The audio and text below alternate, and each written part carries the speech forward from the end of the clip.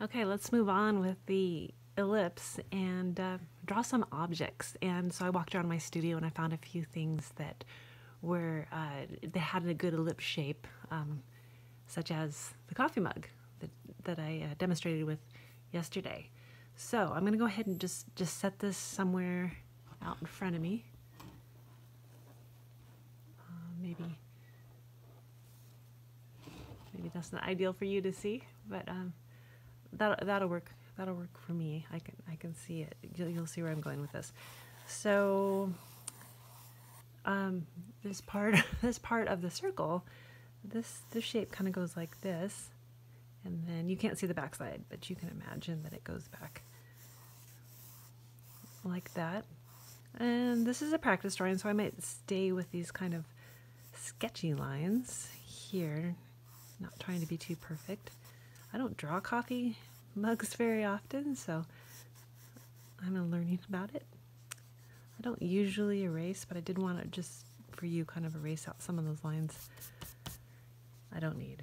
I mean, I do erase like when I'm finished with something. Okay, so now I'm going to drop down um, down the left side and then a line down the right side.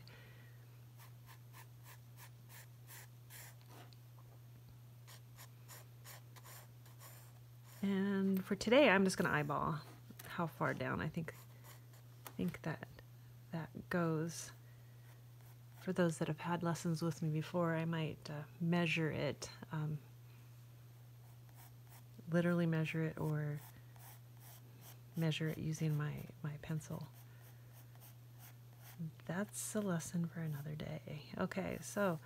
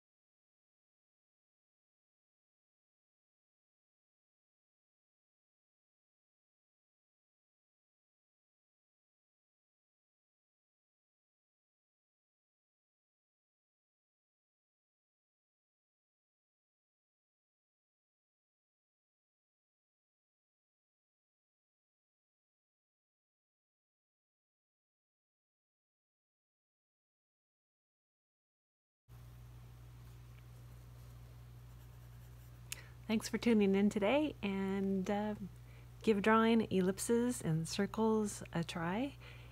And please try to draw from real life when possible. So if you can find something around the house that you can put out in front of you and look for those ellipses, uh, circle ellipses, maybe put it far away from you, maybe put it up close to you, and just keep on practicing. The practice will make you better.